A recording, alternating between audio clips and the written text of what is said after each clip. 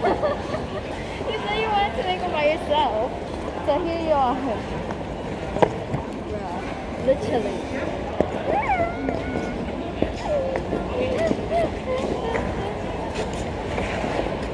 Where have Oh, here.